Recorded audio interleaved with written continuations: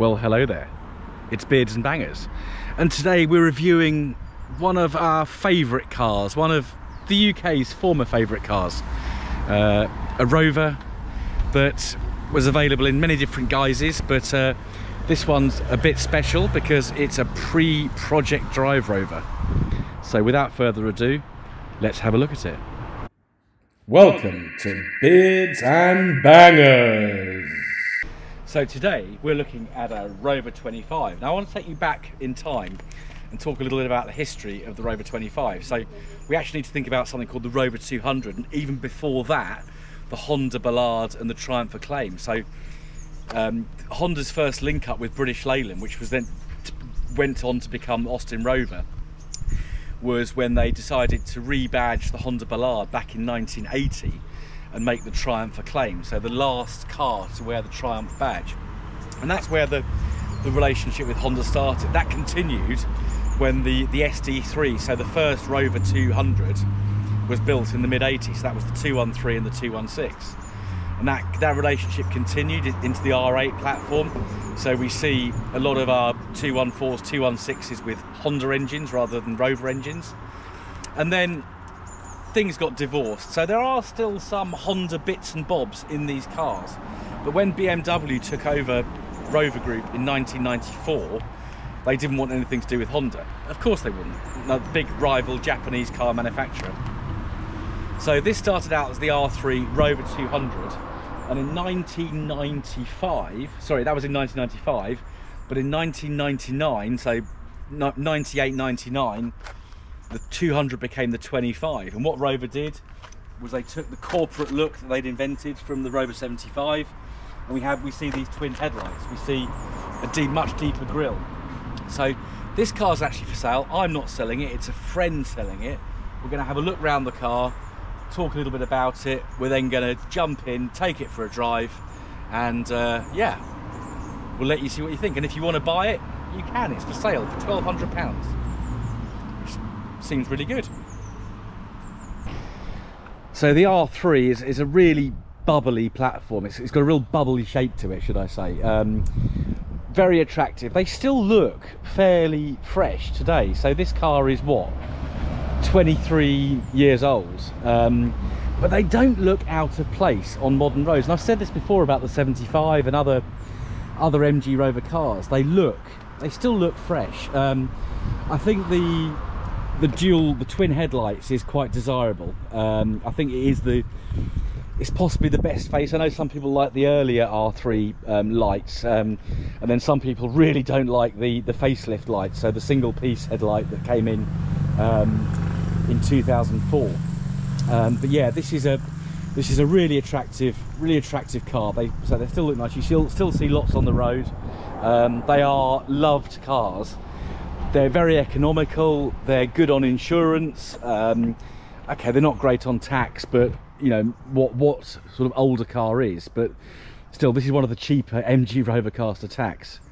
Um, if you want a tax bill then yeah get something like my uh, zt260 but get a late registered one like a 2006 then you're paying serious tax. Let's have a little look uh, under the bonnet so we've got our Rover K Series 1.4. Not quite sure, we're not quite sure what the power output is. So the 1.4 um, actually came in three power outputs. So the, the early ones had um, two valves per head. So there were eight valve engines. I think they had single point fuel injection. So they, they were quite low powered. But this these later ones have multi-point injection. Um, they've got the twin cam and they've got 16 valves. They do put out a bit more power. I think there's the 84 brake horsepower and then there's 104 brake horsepower variant. Which one this is not quite sure. I've just driven the car to here to film. Um, it's only done 38,000 miles so it doesn't actually feel run, run in. Everything still feels quite tight. Um, but I suspect this is the 84 brake horsepower version. But yeah K-Series engines, if you're looking at Rover for the first time, like this, K-Series engines, you may have heard horror stories. Yeah, Rover did skimp in the factory, but if these engines are properly maintained, oil changes, check all your hoses, coolant changes, I've said this before on this channel, but the K-Series are tremendous fun. Doesn't matter whether it's the 1.1 litre or the 1.8 they are great engines just maintain it. Make sure if you're buying a car like this you can see some history. If there's no service history then you know just see, ask when was the cam belt done? Has the head gasket been done? If so when? Have you got documentation? So really important. But yeah nice easy engine bay to work with. Um, you've got your screen wash power steering brake reservoir uh, coolant expansion tank battery down here. Then of course we've got our k-series lump there.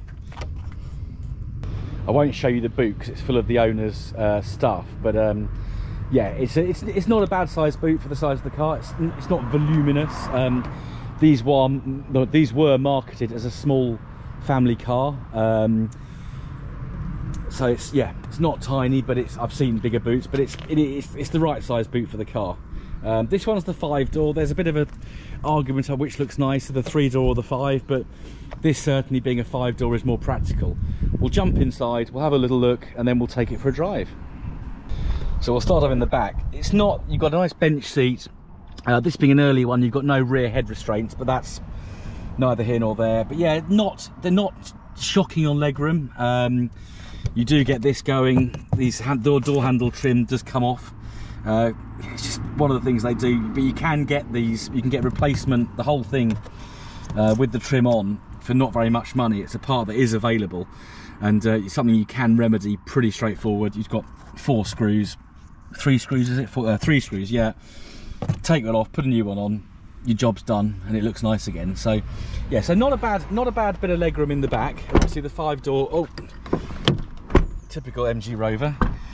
Let's have a little look in the front so yeah jumping in the car um, we have got some wood trim because this is a rover. Um, it's uh, yeah pretty comfy seats. Um, we start in the middle this time. We've got a handbrake down here. We've got a blanking plate here for something and I forget what that is but you can you can actually buy an armrest um, to go in these. Our electric window controls don't change. Um, so if you look if you jump in a, a, an early R3 they're in the same place. You'll have seen that with my BRM uh, got a five speed gearbox. Um, these gaiters always go but again can be replaced. What I do like about this car um, we've got a cubby down here with a place to keep your cassettes. Ashtray cigarette lighter or 12 volt accessory socket as we should now call it in these politically correct times. But what this car has got is a rover radio cassette uh, that works because I've heard it. Um, so that's really nice. These are yeah these are getting hard to get. A lot of people have of course put CD players DAB radios in uh, which you can't blame people for doing that because we you know we do we did live in the age of the CD we now live in the age of the the download. So people want more and more you know increasing modern radios. And that's fine you know if people want to use modern classics as daily drivers you want it to be sort of up to date. Um, we've got our heating controls. Uh, common pitfall with r3s is the resistor going on the fans. Um, so you've got a resistor for I think fan speed one and two, and you've got a resistor for three and a resistor for four, and they all seem to go in turn. Four normally four normally lasts a bit longer, but one and two always seem to go. Then three goes eventually. Uh, heater direction we can recirculate as well, um, and we've got this being a rover, we've got uh, this fresh air feed here. So if we open that like that, we can get fresh air from these vents here whatever the heater's doing. So the heater can be blasting out hot air in the other vents, but you'll get cold, fresh air out of here. Earlier model, so no air conditioning. Um, not a problem. If you get too hot, open the window. Uh, or on this one, open the sunroof. While we're here, look at this. This is an intact headlining.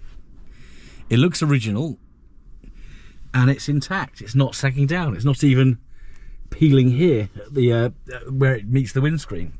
So quite remarkable.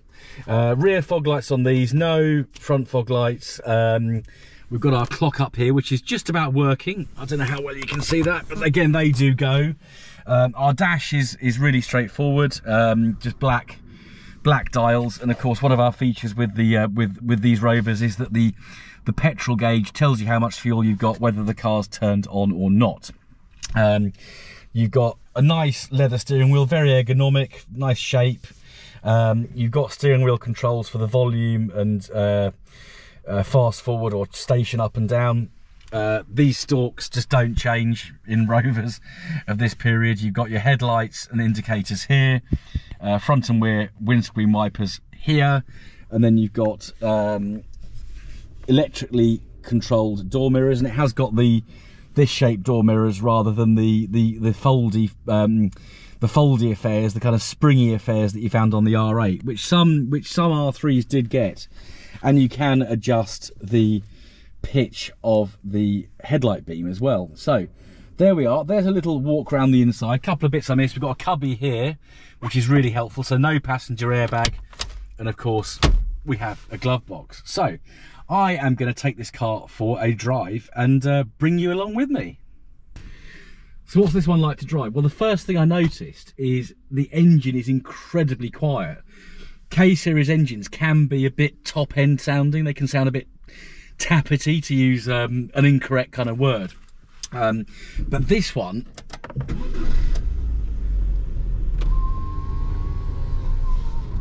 it's really quiet, which is really nice. So we're going to get out for a drive, and uh, yes, then we shall yeah wrap up this video. And uh, if you're interested in the car, you can get in touch with me, and I'll put you on to the owner. So as I, said earlier, this one's done just over 38,000 miles, um, and it shows because everything feels nice and tight. The steering feels really good. Um, but it, what impresses me most so far with this little car is the engine is just so quiet. Let's let this, uh, oh no, the Fiat's going to let me through. That's nice of them. Even revving it hard in first gear, um, you do still get that lovely little K-series noise that you get. Don't know what it is k-series pull off in first gear it's got a lovely whiny noise that i really like. Same with old minis. Um, don't know what it is very evocative love it brilliant. Um, but yeah just i'm just pottering around a kind of suburban area. The engine's just purring along quietly. Um, i've actually got noise from the fan rather than the engine but it's, it's so quiet it's lovely and the steering's really direct, really positive. A bit of revs up there, so we can we can hear the engine. It's got a pleasing little growl. That and that's what's great about K series. They're just they're revy, happy little engines. Um, yeah, and this one is absolutely no exception to that. So we'll get her out on some open road, and we'll in a moment we'll get you on beard cam. So we get a good test now because we come into a roundabout and that's always a good good test of a car, chucking it around, see what it does. Well, we have got a fair bit of uh, traffic around.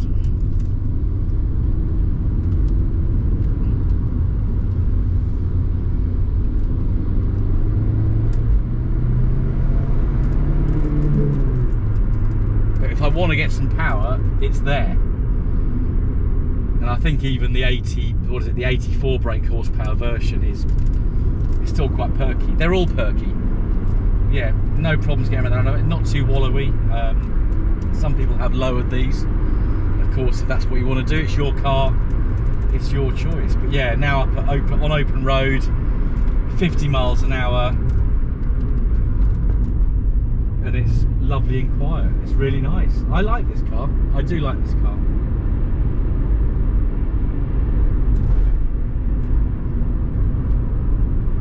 Avoid a pothole, of course. Right, you need to go on beard cam so you can uh, see what it looks like out the window. Right, so you are now on beard cam.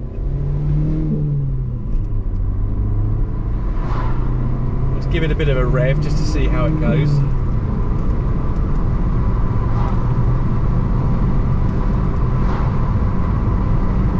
Up at 60, pretty effortlessly. Just drop back to 50 because that is actually the limit down here. Yeah, you've got a nice comfy seat, not not that buckety these seats, so they are really for comfort, and it's uh, yeah, it's pretty nice.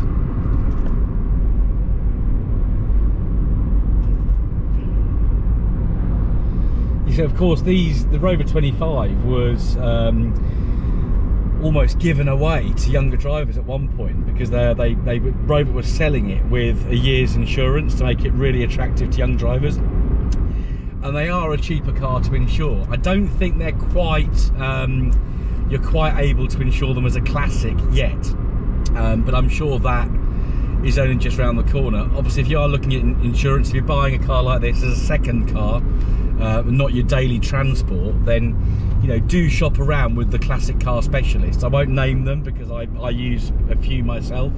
I don't want to favour one over the other. Um, but yeah, do do make inquiries of the classic car insurance specialists because one of them may well take um, may, may well take these as a classic now. I know with my MGTF, one provider would take it as a classic and the other one wouldn't. So it's uh, yeah, you just don't know. Uh, they all have their kind of little little rules uh, that they follow to themselves. Right, another roundabout. Getting a bit of bit of revs up and then stuck behind a Hyundai.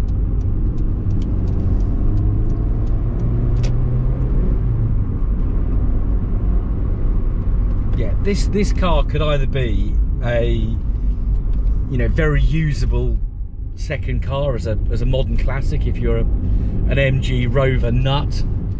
Um, but something like this, low mileage, pretty tidy, easy to repair, you know, would make a, a good daily driver. And I did have one of these. I had a, I also had a very early Rover 25, which I rescued uh, from a farm near me last year and sold it to a guy you know who's using it as daily transport. I didn't get much content on that because I, I, did that did that car when uh, I wasn't really doing YouTube. So um, yeah, but they are they are good.